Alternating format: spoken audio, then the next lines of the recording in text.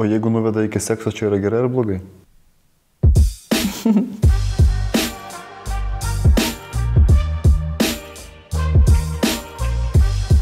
Žinai, kai tu kalbėjai su mano draugu ir kai mačiau, kai jis tave žiūri, taip supavydėjau. Prisipažinu. Kaip išmokti auginti vaikus, kad nebūtų tokių problemų arba kad sumažinti tas problemas ateityje? Dažniausiai mes sekso metu bėgam, skubam, darom, kaip čia geriau, viskas yra kuo intensyviau, geriau, greičiau, stipriau, daugiau.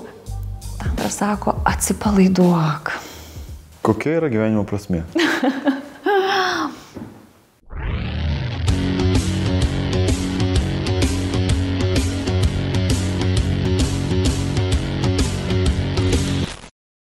Bet mano viduje buvo kažkoks alkis ir toks visą laiką klausimas, ar šitas pasaulis yra tik tais apie tai. Kad kaip čia gyventi, ar tik tai užtenka apsivesti, turėti vaikų, ar iš tikrųjų čia laimė. Ir aš nesakau, kad, nu, kad aš galvoju, kad čia nelaimė, bet tuo metu man tokie kilo klausimai. Ir toks labai ryškus atminimas mano buvo, galbūt man buvo 15 metų Ir aš važiavau su tėčiu į vieną iš, į kitą tokį miestelį. Mm, mano tėtis buvo direktorius juoda Volga. Na, tada tai kažką tarsi ir aiškiai simbolizavo. Ir mes važiavome į vieną vakarėlį, kuriame aš atvažiavus e, sėdėjo daug, daugybė žmonių tam vakarėlį ir jaunai moteriai, 18 metų, tai moteriai buvo, jinai turėjo vaiką ir jie visi susirinko švesti kaip senais laikais švesdavo, tai buvo daug mišrainių, daug degtinės, daug tortų ir visi sėdėjo prie to stalo ir visi džiaugiasi. Ir man turbūt tai buvo pirmoji mano krizė gyvenime, kai aš, aš tiesiog atsimenu tą vaizdą ir mes važiuojant atgal su tėčiu namo, aš tiesiog verkiau, man ašaros rėdėjo upeliais ir jis sako, kas tau yra. Aš sakau, tėti, tai sakau, aš užauksiu. Ir taip gyvensiu. Ir aš taip gyvensiu, aš apsiženysiu, aš turėsiu vaiką ir sėdėsiu prie tų mišrainių. Ir čia yra laip, čia mano, ar aš dėl to atėjau šitą gyvenimą? Malonu, kai tą darom dviese. Jeigu esat partnerystiai, galima atsisėsti arba atsigulti ir 10 minučių. Nieko nedaryti vienas partneris, gali dvi draugės tai padaryti Čia nėra apie sujaudinimą, tai nėra apie, nu čia jau kažką padarysiu. Jau jeigu atsiranda toks noras, reiškia protas įsijungia. Tantras sako, eik į gilesnį patyrimą, pajūtimą. Ir jeigu vienas partneris atsigula ir tiesiog kitas partneris viena ranka glosto. Ne, kaip katė, bet va, tiesiog ramiai veda. Kas atsitinka mūsų nervų sistemai? Mūsų nervų sistema atsipalaiduoja. O mums atsipalaidavimo labai trūksta. Kai mes atsipalaiduojame, kitokie tampam. Taigi vienas partneris guli, o kitas glostų. Penkias minutės. Kiekvienas gali rasti tiek laiko. Tai būtų toks paprasčiausias dalykas. O jeigu nuveda iki sekso, čia yra gerai ar blogai?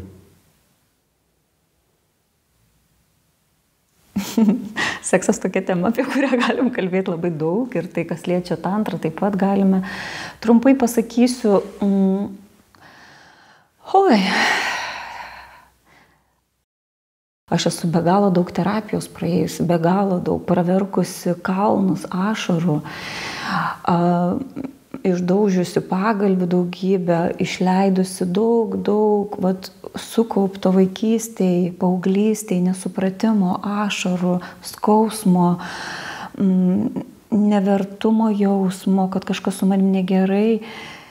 Ir meditacijos pagalba, derinant, integruojant kūną, mm, jausmus, mintis.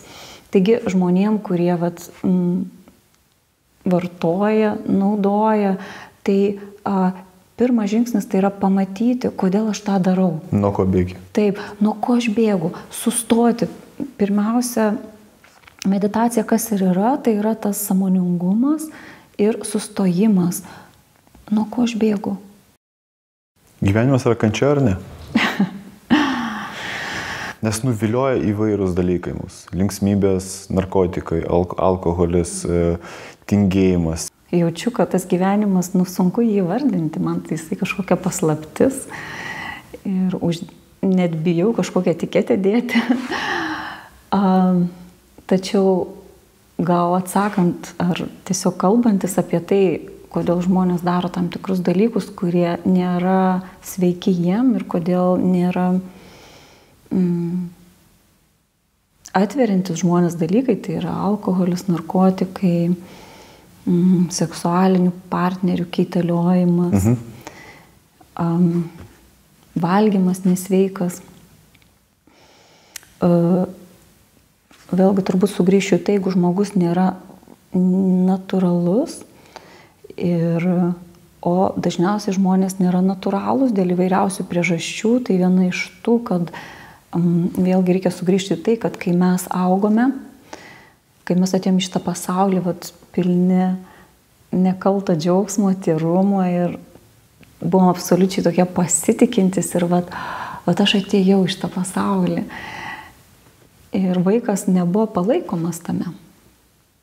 Tėvai dėl įvairiausių priežasčių, ne dėl to, kad jie blogi, tačiau jie nežinojo, kaip vaikui suteikti palaikymą jo augimui. Nes kai vaikas nori valgyti, jisai rėkia. Jam kažkas nepatinka, jis rėkia. E, šiek tiek didesnis vaikas trypia kojom, nenoriu. Tėvams su tuo tvarkyti sunku. Sako, tylėk, nustok. Niekam tavo nuomonė neįdomi. Tu mažas. Kas atsitinka su natūraliais poreikiais, natūraliu noru vaikas bėga apsikabinti mamą. Mama sako, neturiu laiko.